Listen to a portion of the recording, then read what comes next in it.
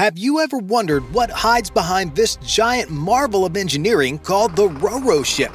Well, these floating garages can transport a mind-boggling number of vehicles. So join us as we uncover the secrets behind a $53,200,000 Ro-Ro ship and take a look inside the entire process of loading and unloading these vehicles. Ro-Ro ships, or roll-on, roll-off ships, are specialized vessels designed to carry wheeled cargo, such as cars, trucks, semi-trailer trucks, and railroad cars that are driven on and off the ship on their wheels or using a platform vehicle.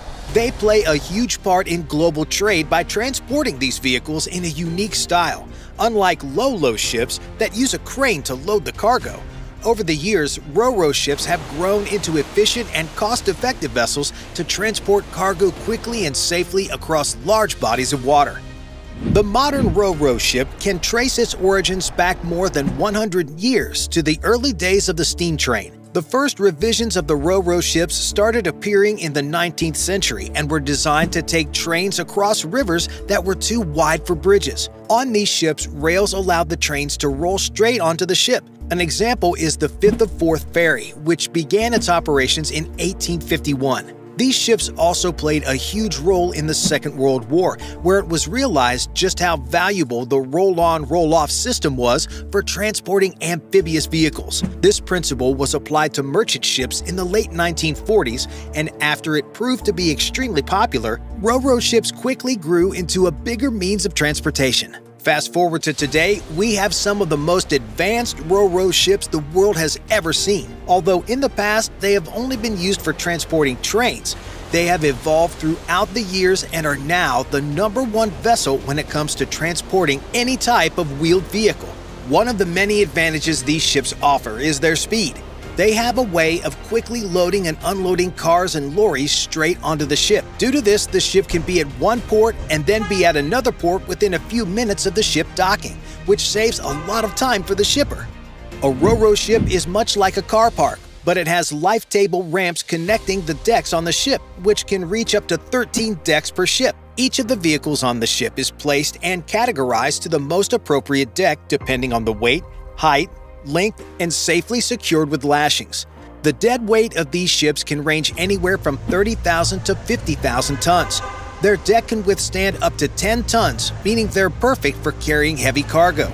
Although most of the vehicles loaded on this ship are using their wheels to get on the ship, the ship does have built-in ramps on their bow or stern in order to make the loading and unloading process much easier than if a crane did it. The difference between Ro-Ro ships and cargo and container ships is the crane. While cargo ships use a crane to load and unload their freight, Ro-Ro ships don't use cranes, making it much easier and simpler. Cranes are typically located on the port, and some ships even have them on board. But in all Ro-Ro ships, there is a ramp on board, so that each time the vessel comes to the port, it's immediately ready to unload and load the vehicles. These vessels sometimes use a drive-through system with forward and aft access, which speeds up the loading and unloading process. The capacity of these vessels can be less than one half of the Lolo vessels of similar size, as cargo cannot be stacked and significant space is needed for the ramps. Although there is reduced capacity, they still work at full power and are considered to be the most important vessels out there. Like other transportation vessels, there are also many varieties of Ro-Ro ships out there in the world, all doing a specific task. One of the many types of these ships is the Pure Car Truck Carriers, or the PCC and the PCTC. This variant has a box-like framework with ramps included. As the name suggests, the PCC is used to transport only cars, whereas the PCTC transports all types of vehicles, they have a ramp in the stern, two ramps on both sides, covered internal ramps, and hoistable decks that are used to transfer the cars into the multi-level decks. On this ship, the vehicle drives directly into the vessel and then uses the ramp system to various decks. Another type of Ro-Ro ship is the RoPax, which stands for Roll On, Roll Off a Passenger. They are made for freight vehicle transport with passenger accommodation. They can accommodate up to 500 passengers and are often referred to as cruise ferries.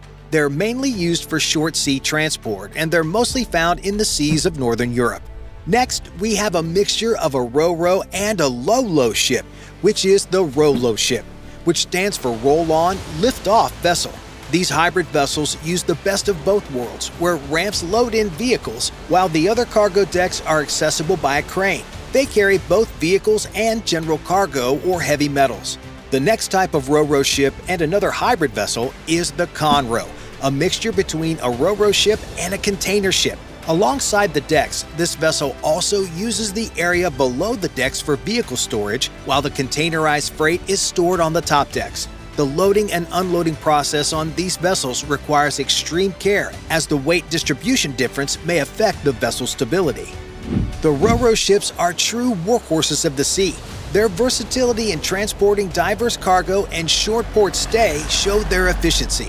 They're one of the most successful types of transport vessels operating today. Its flexibility and ability to integrate with other transport systems and speed of operation have made it extremely popular among shipping routes. Because of this, proper securing of the cargo is the most important thing to the safety of life at sea. Due to the shape of these vessels, any instability can lead to a disaster. So even before the vessels take off, it needs to ensure that each vehicle on board is properly secured. The staff appointed to secure the cargo are fully trained in the use of the equipment and the most effective methods for securing different types of vehicles. Ro-Ro ships can be dangerous vessels to work on. For years, the safety of these ships has been questioned, and now safety and security have become the most important factors on these vessels. The main issue of the ship is its stability the slightest shift of cargo can become a major threat to the stability of the ship.